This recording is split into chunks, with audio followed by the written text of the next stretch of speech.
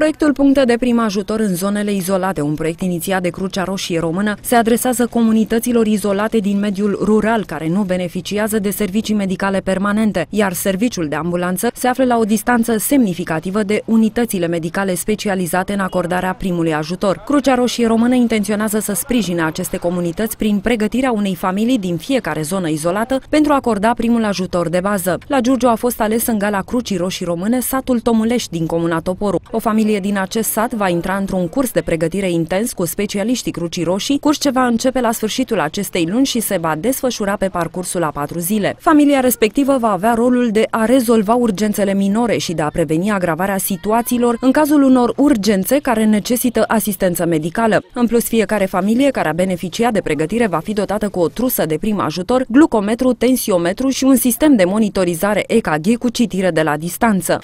După o perioadă de un an de zile, acest punct de prim ajutor va fi predat uh, Consiliului Local uh, din Comuna Toporu, care se va ocupa numai de uh, asigurarea materialelor de prim ajutor. Uh, în uh, data de 26 noiembrie vom participa la un curs de pregătire cu această familie, curs care va dura 4, 4 zile.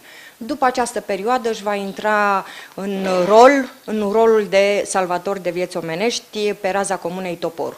Unul din criteriile de bază al localității unde sunt înființate asemenea puncte de prim ajutor este ca localitatea să fie la aproximativ 40 de kilometri și să fie o zonă unde se ajunge mai greu pe timpul iernii. Efortul financiar pentru implementarea acestui proiect pilot în 41 de localități izolate din fiecare județ din țară este de aproximativ 100.000 de euro. Acest proiect a fost lansat în cadrul Galei Crucea Roșie din 23 septembrie 2012, când s-au strâns în jur de 35.000 de euro prin apeluri telefonice, SMS-uri cu valoare și donații din partea companiilor.